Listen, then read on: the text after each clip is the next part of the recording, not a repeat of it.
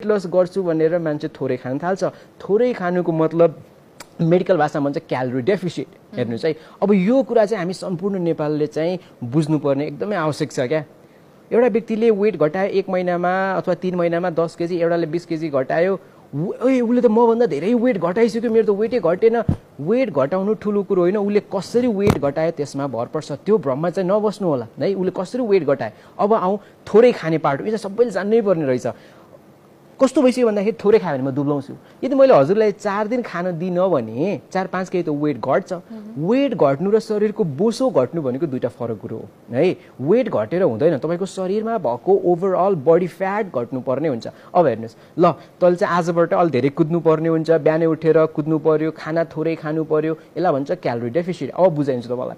हामी बाँच्नको निमित्त एउटा महिलामा एउटा महिलालाई र एउटा पुरुषमा हेर्ने हो भने बाँच्नको निमित्त चाहिने एनर्जी है क्यालोरी जुन हामी भन्छौँ अब एउटा महिलालाई अठार सयदेखि दुई हजार क्यालोरी चाहिन्छ भने एउटा पुरुषलाई दुई हजारदेखि छब्बिस सयसम्म क्यालोरी चाहिन्छ बाँच्नको लागि हेर्नुहोस् है यति चाहिने रहेछ। अब तपाईँ जानुहुन्छ क्यालोरी डेफिसिटमा अर्थात् हजुरलाई चाहिने रहेछ अठार सय क्यालोरी एउटा एउटा दृष्टान्त दिउँ हजुरलाई चाहिने रहेछ अठार सय क्यालोरी। अब आजबाट हजुर जानुहुन्छ बाह्र सय एघार सय क्यालोरीमा किन त वेट घटाउनु छ भनेर? अनि तपाईँ जानुभयो एघार सय क्यालोरीमा। पहिलो महिनामा चार पाँच केजी वेट घट्यो। किन घट्यो भन्दाखेरि क्यालोरी डेफिसिटमा जानुभयो। क्यालोरी डेफिसिट अर्थात् चाहिने भन्दा थोरै खानु तपाईँको वेट चार केजी घट्यो। अब हेर्नु सुरु हुन्छ कुरो। मान्छेले कहाँनिर बुझाएको छैन भन्दाखेरि तपाईँको शरीरमा एउटा भन्छौँ बेसल मेटाबोलिक रेट यो प्यारलेल वर्ड हो रेस्टिङ मेटाबोलिक रेटसँग अर्थात् हजुरले केही नगर्दा पनि एनर्जी चाहिने रहेछ। हाम्रो पाचन प्रक्रिया जुन भन्छौँ पाचन प्रणाली स्टप भएको बाह्र घन्टापछि हामीलाई चाहिने एनर्जी हुन्छ। तपाईँ सुत्दाखेरि एनर्जी चाहिन्छ तपाईँले खाइसकेको खाना पचाउनलाई चाहिन्छ बोल्नको निमित्त चाहिन्छ सास फेर्नको लागि चाहिन्छ होइन? म हजुरलाई हेरेर हाँस्नको लागि पनि मलाई एनर्जी चाहिन्छ। अब यसलाई भन्छ बेसल मेटाबोलिक अर्थात् रेस्टमा भएको बेलामा। रेस्टमा भएको बेलामा पनि एनर्जी चाहिने रहेछ। अब कुरो गरौँ केही नगर्दा कुनै एक्सर्साइज व्यायाम नगर्दा तपाईँलाई चाहिने रहेछ बाह्र सय क्यालोरी तपाईँको बेसल मेटाबोलिक रेट रहेछ बाह्र सय जुन चाहिँ बाँच्नको निमित्त मात्र चाहियो तपाईँलाई। तर तपाईँ खानुभएको छ एघार सय क्यालोरी।